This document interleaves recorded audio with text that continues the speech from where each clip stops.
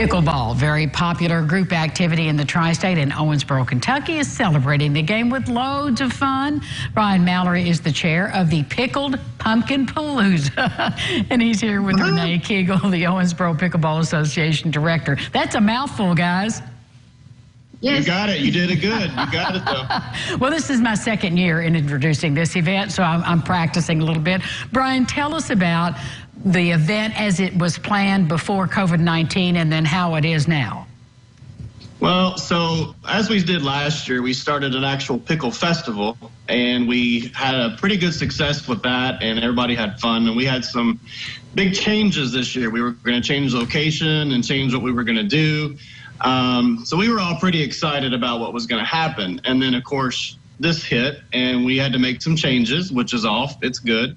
Um, so we just wanted to make an event now that was not so much of a festival, but just kind of a fun time for everybody to get out, to do something fun with their families safely, um, just get out and enjoy some fall weather. So that's kind of what brought us to doing what we're going to talk about next. Well, Renee, so tell us about the event then.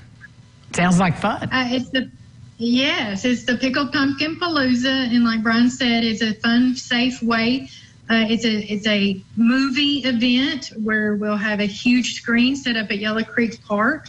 The short film will be Casper's uh, Halloween special, and then we'll, we'll show Monster House as our featured film.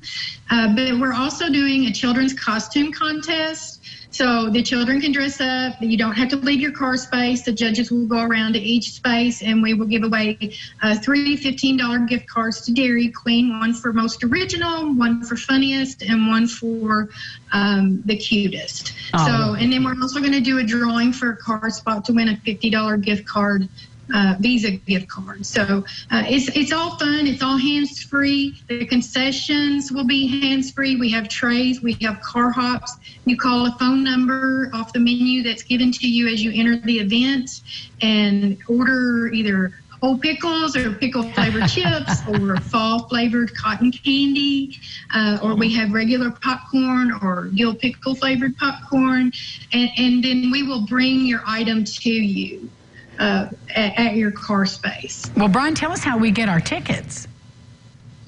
Well, you can get your tickets through our personal Facebook page or through OPA. Uh, go to Facebook and type in OPA. You can do it there, Owensboro Pickleball Association. Mm-hmm. Or you can go to, what is the other? OwensboroPickleball.org. .org.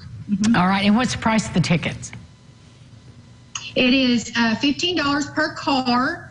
Uh, there is a limited number of spots, so registration. You, if you want to register a spot for a spot, you need to hurry. We've already sold half of the available spots, so um, it's 15 per car. If you are an Owensboro Pickleball Association member, which is just $20 through the end of next year, uh, it's $10 per car. Thank you both. The pickled pumpkin palooza is coming up. Thanks, guys. You got Thank it. You. Thanks, Angie.